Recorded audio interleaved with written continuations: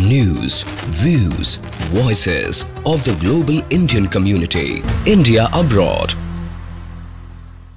What I want to do and what I will do is you graduate from a college. I think you should get automatically, as part of your diploma, a green card to be able to stay in this country. And that includes junior How? colleges too. Anybody graduates from a college, you go in there for two years or four years.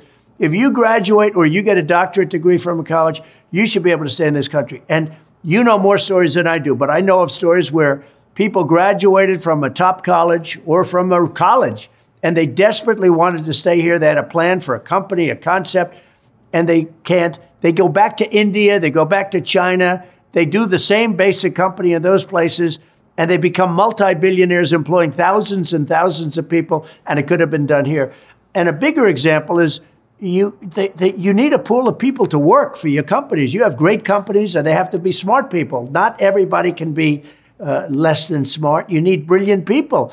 And we force the brilliant people, the people that graduate from college, the people that are number one in their class from the best colleges, you have to be able to recruit these people and keep the people. It was such a big deal. Somebody graduates at the top of the class, they can't even make a deal with the company because they don't think they're going to be able to stay in the country. That is going to end on day one.